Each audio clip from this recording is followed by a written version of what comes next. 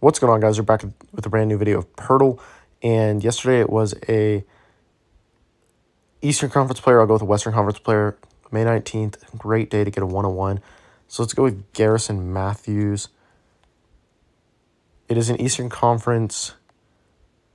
We'll go with an Eastern, Eastern Conference young center. It's not Onyeka Okongwu.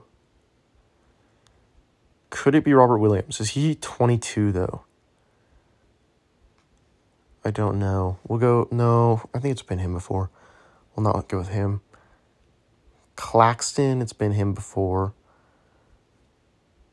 Jericho Sims. Ooh, okay, it is a forward center or a center forward, but they're short.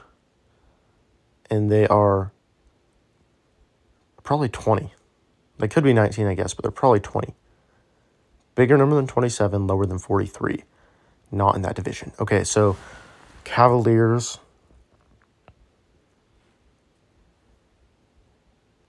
Evan Mobley. No, the jersey number doesn't work. Jarrett Allen.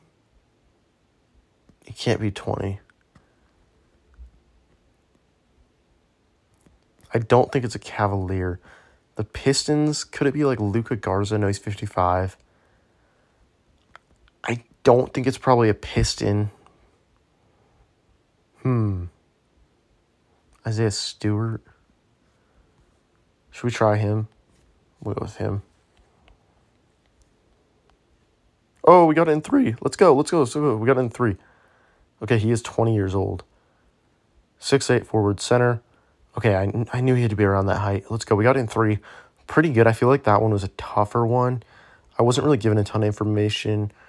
So I feel like that's a pretty good one. I feel like a lot of people, the position will mess them up if they see a center and then they're like, is he forward center? Got it in three. Pretty good. Let me know what you guys get in though in the comment section below. Don't forget to leave a like, subscribe, and turn notification bells all. I'll see you guys later. Peace out, my friends. Thank you guys for watching and bye.